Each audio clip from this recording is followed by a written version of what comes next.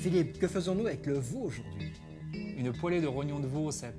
Et pour combien de personnes? Pour deux personnes. Mais pour ça, on fait une sauce que l'on sert à part.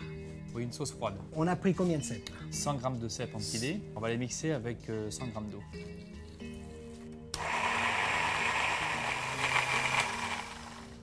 Là, ça fait une purée. On va ajouter la mayonnaise. 100 g de mayonnaise. C'est facile à retenir.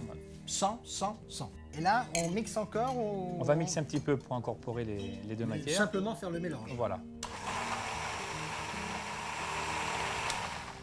On va mettre du, du- du vinaigre pour donner un petit peu de puissance à la sauce. Un vinaigre de vin. Un vinaigre de vin, oui. Alors juste Quelque un, chose de caractère. hein. un trait, c'est-à-dire une petite cuillère à, Oh, voilà. à café. Un petit peu de sel Poivre. Et le cèpe aime bien le poivre. et bien de poivre, oui. Et on remélange le tout. Voilà. On va peut-être goûter. Ah, on va mettre un petit peu de, un petit peu de vinaigre. La valeur d'une autre cuillère à café. Et un petit coup de moulage, oui.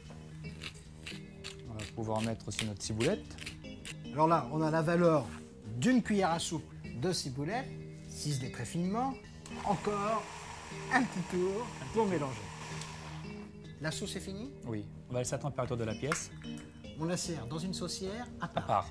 Philippe, on a pris 400 grammes de cèpe, on les a bien lavés, essuyés, coupés en morceaux. Donc là, ce sont des petites têtes, on les a coupées en deux. Un petit peu d'huile d'arachide, une bonne cuillère à soupe, on chauffe un peu la poêle, On va les saisir. mais les saisir quand même pas trop fortement, Non, hein, parce que le après, ça donne- c'est- ça donne de un- l'amertume. Voilà, un mauvais goût. Quand ils sont bien colorés, on les assaisonne.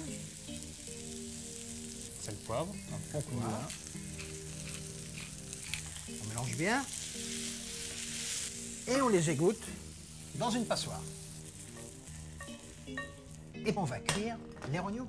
On a un gros rognon de veau qu'on a coupé en 8 morceaux. On commence par les assaisonner. Sel, poivre. Sur les deux faces. Alors, eh ben on va les saisir. Un petit filet d'huile.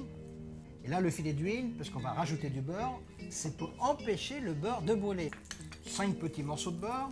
La matière grasse est bien chaude. Et maintenant, on pose nos rognons. Le rognon, il faut le saisir. Il faut pas qu'il boue surtout. Quand ils sont dorés, on retourne. Il faut bien dire aussi que pour la couleur d'un beau rognon, il faut un rognon blanc de préférence. On les pose sur une assiette, si on veut, une grille, c'est encore mieux. Pour que le jus puisse s'écouler à l'intérieur, il faut surtout pas les piquer. On finit les cèpes.